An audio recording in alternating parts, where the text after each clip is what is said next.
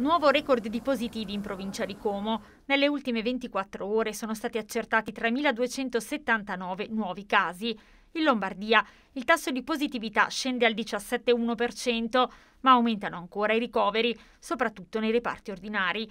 La regione, come dichiarato dallo stesso presidente Attilio Fontana, passerà quasi certamente in zona arancione.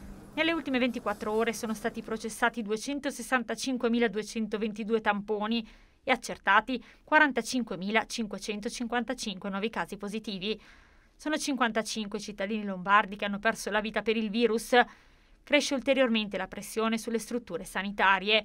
Nelle terapie intensive sono 256 malati, 10 in più rispetto a ieri. Balzo dei ricoveri nei reparti ordinari, i pazienti salgono di 203 unità e arrivano a quota 3.202.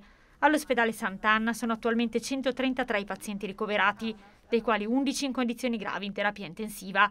Questa mattina risultavano inoltre 37 pazienti al pronto soccorso. La situazione delle province.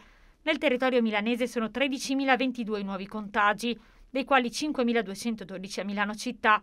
Como ha toccato quota 3.279 nuovi contagi.